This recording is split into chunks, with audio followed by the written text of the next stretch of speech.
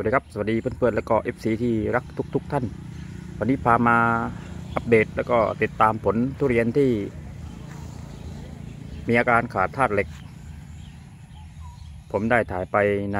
คลิปก่อนครับ ถ้าเพื่อนๆ ท่านไหนที่เคยรับชมคลิปก็จะเห็นได้ชัดนะครับว่าทุเรียนต้นนี้มีอาการใบเหลืองครับ ก้านใบแล้วก็พื้นใบสีเหลืองก้านใบต่างๆ เป็นสี เขียว คืออาการขาดธาตุเหล็กครับ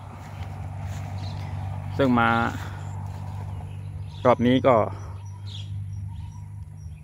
หายนะครับ80 90เก้าสิบเปอร์เซ็นครับ ดูครับกิ่งตอนกิ่งพวกนี้ที่ผมถ่ายนะครับ เหลืองนะครับ ดูครับ ยังมีร่องรอยนะครับ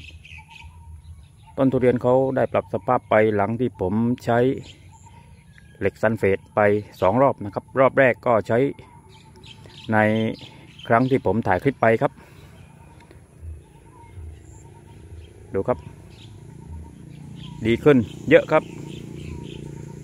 90%ได้ครับ มีการแตกยอดใหม่ขึ้นมาให้เห็นนะครับ เพื่อนๆ เดี๋ยวผมจะให้ดูครับเหล็กซันเฟตเหล็กซันเฟตนะครับหน้าตา เขาก็จะประมาณนี้ครับตัวนี้ใช้ดีมากครับ ผมใช้ไปตัวนี้สั่งมาใหม่นะครับ ตัวก่อนก็ใส่ไปหมดแล้ว ตัวนี้สั่งมาใหม่ ไม่แพงครับ ใช้ดีมากครับ ผมเติมหลังจากถ่ายคลิปไปแล้วก็ถัดมาอีกหนึ่งอาทิตย์ ผมก็ใส่บัวรดน้ำใส่ประมาณห้าช้อนโต๊ะต่อน้ำยี่สิบลิตรนะครับ รถราดบริเวณรอบทรงพุ่ม ดูครับ มีคราบดำๆก็คือ ผมไม่ทราบเหมือนกันนะครับ มันเป็นธาตุเหล็กทำปฏิกิริยาอะไรกับดินครับ แต่ทำให้ทุเรียนเราใบเขียวสวยเหมือนปกติครับ ที่เห็นเหลืองๆนะครับ ไม่ได้ขาดธาตุอาหารนะครับ เป็นยอดอ่อนนะครับ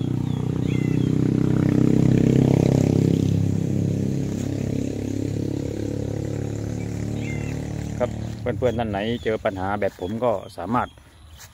หาซื้อได้ ถ้าเพื่อนๆท่านไหนไม่สะดวก ค้นหา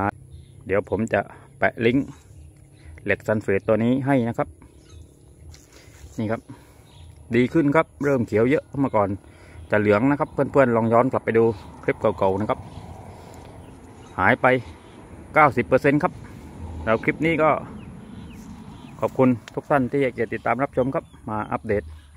ให้เพื่อนๆดู เดี๋ยวเพื่อนๆจะไม่เชื่อนะครับว่าใช้จริงหายจริงนะครับ ไม่ได้มโนครับ สวัสดีครับ